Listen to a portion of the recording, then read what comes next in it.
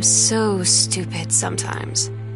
I was telling Lonnie that I got into my college summer program thing, and I was all making plans like, you should come visit me, stay in my dorm room. But she said, Sam, I ship out on June 6th. I was like, ship out?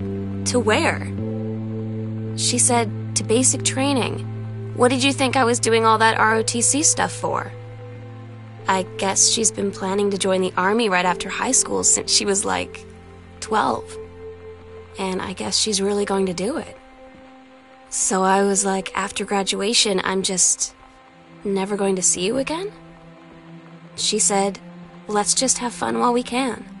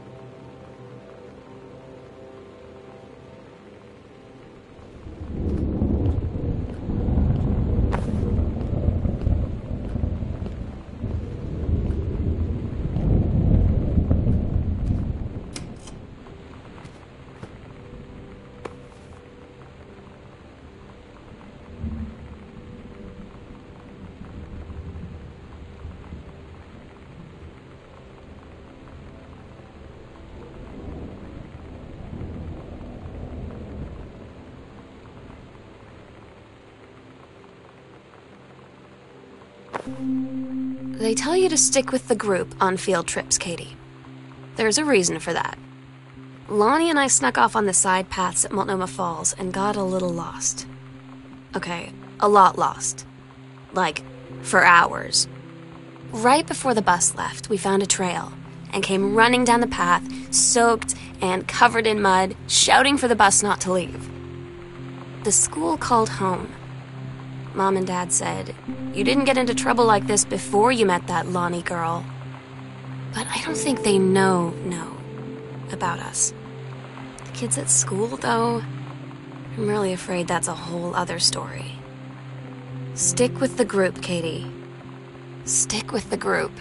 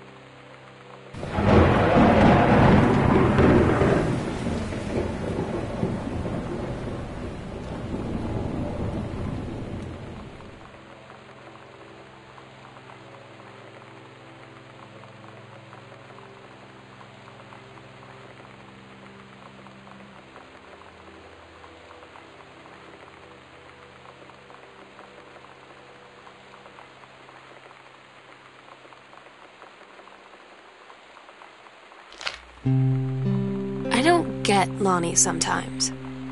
Like, her band, and our zine, and her hair, and everything are all anti authority. But I watch her in JROTC, and she's doing drills in perfect formation, following orders, no question. And there's all this stuff in the news about don't ask, don't tell. Like, she's going to join the army and then have to lie about who she is. She said they don't need to know what they don't need to know. Like it was no big deal. This from the girl who trashed her locker to, like, defend my honor. I've learned when to stop arguing, though. I don't think Lonnie even gets Lonnie sometimes.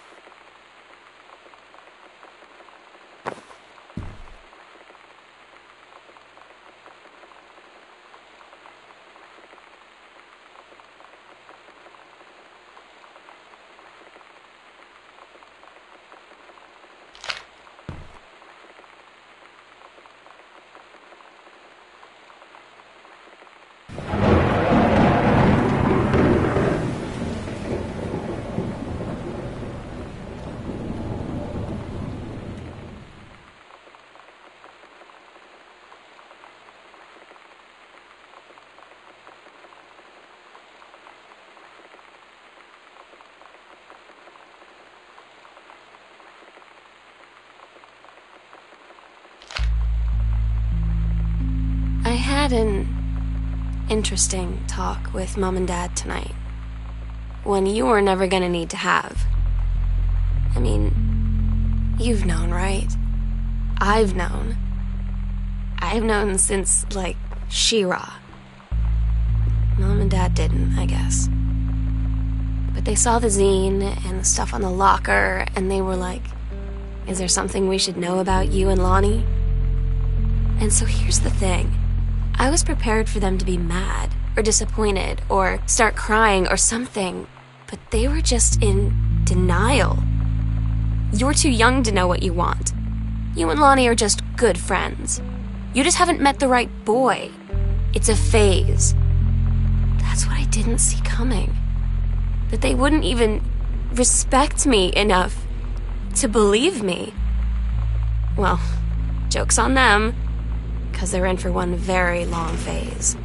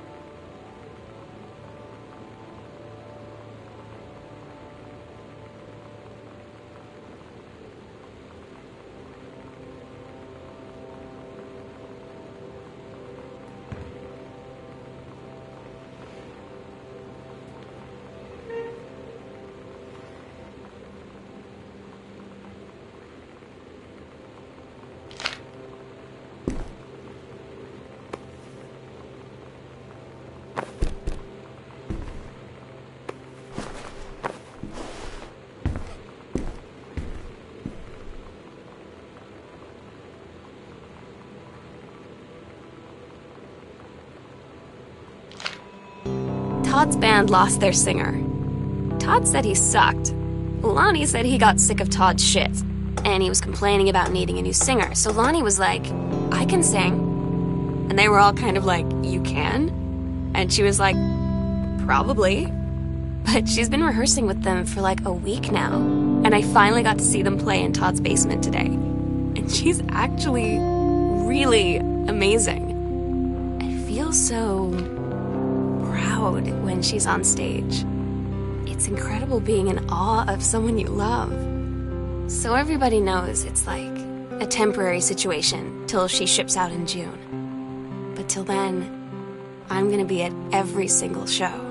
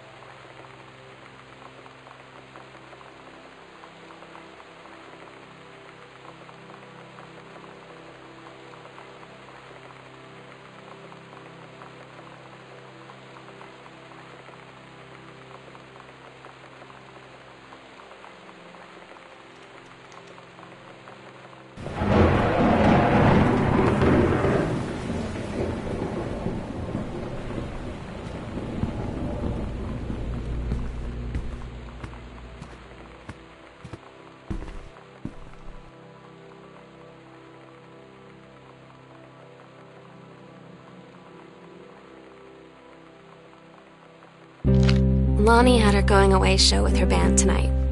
She's so incredible on stage. When she was singing, I could practically forget everything. That we only had 48 hours left. That I don't know what comes next. That I can't live without her. Then she dedicated the last song to me. I couldn't take it. I was out on the curb in the alley, sobbing till my ribs hurt. I would follow her anywhere, Katie. But I can't. Where she's going. After a long time, she found me. She said she was sorry. She said, I wish things could be different. I just wanted to make you happy. I said, don't think you can anymore.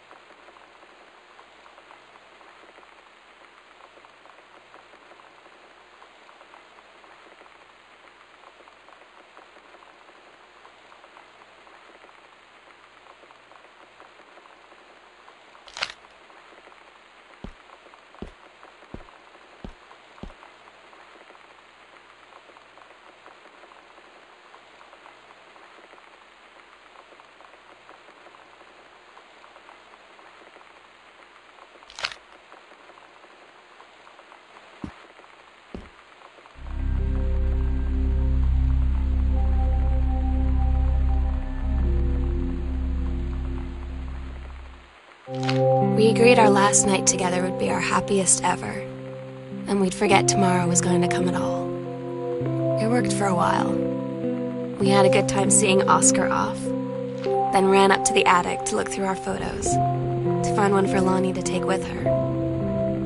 And looking at them, I realized they were all in the past, and there wouldn't be any more.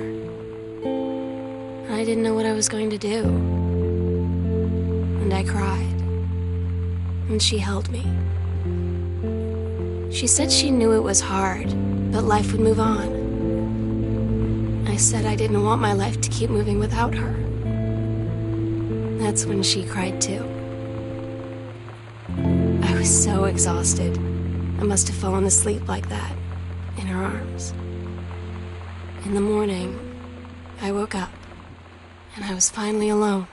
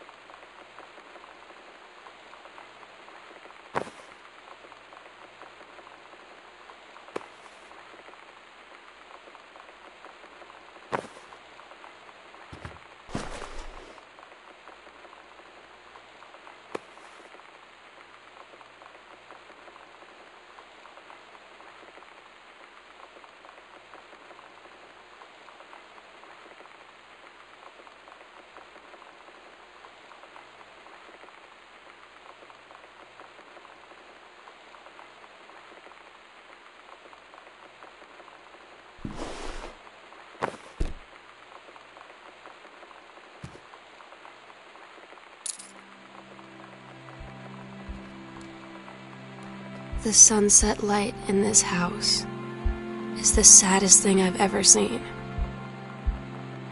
I just want to sleep.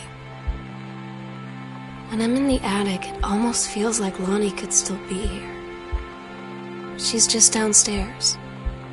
I'm just waiting to hear her pull down the hatch and come running up. Maybe I'll go up to the attic and wait.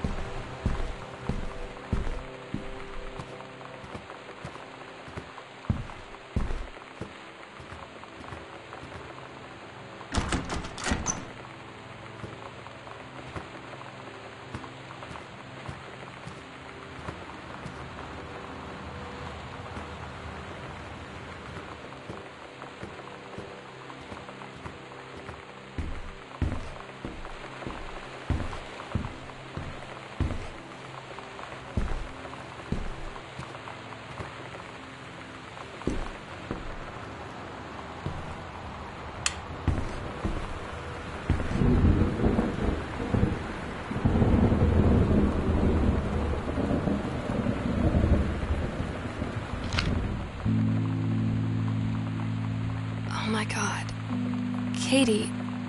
I, I fell asleep in the attic, in Lonnie and my old spot, and I missed the first two calls.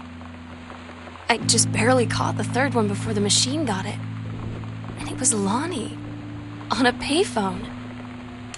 She'd been on the bus to basic and she said she couldn't she couldn't think of anything but me and us and that she couldn't go through with it with the army and being apart and all of it. And so she got off the bus in Salem. She said, "Sam, I want you to pack up everything you can and get in your car and come find me." and let's just drive until we find somewhere for us. And she asked me if I could do that. And I said yes. Yes.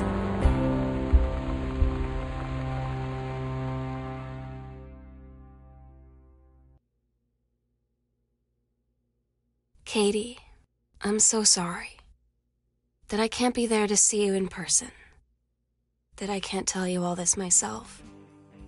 But I hope as you read this journal and you think back, that you'll understand why I had to do what I did.